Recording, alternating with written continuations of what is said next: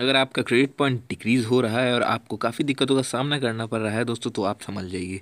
मैं वैभव त्रिपाठी आपका स्वागत करता हूँ टेक्निकल नॉलेज रूम के इस चैनल में। नमस्कार।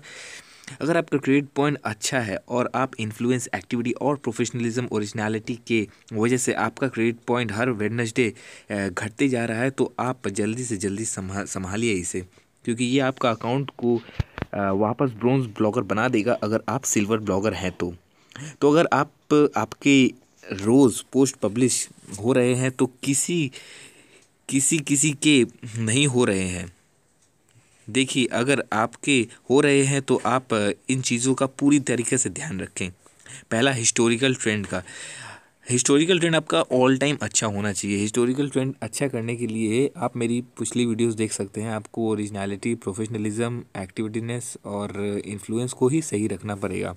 तभी आपका हिस्टोरिकल ट्रेंड सही रहेगा और इससे आपका वो क्रेडिट पॉइंट डिक्रीज नहीं होगा। सेकेंड चीज़ है ऑफलाइन नहीं हो रहे हैं आपके पोस्ट क्योंकि रूल चेंज होने के बाद क्रेडिट पॉइंट ज़्यादा डिक्रीज़ हो रहे हैं। अगर आपको ध्यान रखना पड़ेगा कि आपका ऑफलाइन तो नहीं जा रहा है कोई पोस्ट ऑफलाइन जाने से आपको काफ़ी सारी दिक्कतों और क्रेडिट पॉइंट काफ़ी नीचे चले जाएँगे आपकी।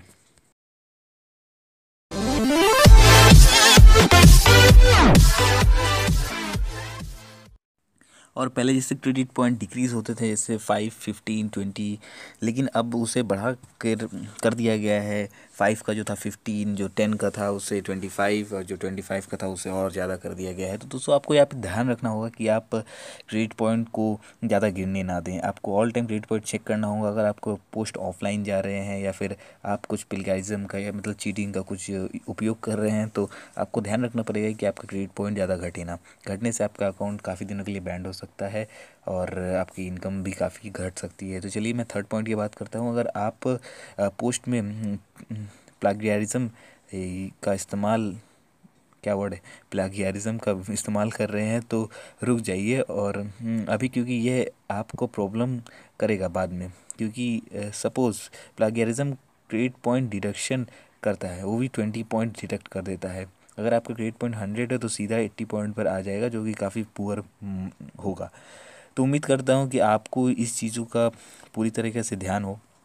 और इसे ध्यान रखिए आप। अगर आप मेरी हर वीडियोस रेगुलरली देखते होंगे तो आपको एक एक पॉइंट काफ़ी कॉमन मिलता होगा कि मैं ऑल टाइम आपको हिस्टोरिकल ट्रेंड की बात करता हुआ दिखता हूँ। जैसे कि इन्फ्लुएंस एक्टिविटीज़ प्रोफेशनलिज्म और ओरिजिनलिटी को सही करने की बात करता हूँ। क्योंकि यही चारों चीज़ पे तो यूसी न्यूज़ खेल खेलता है।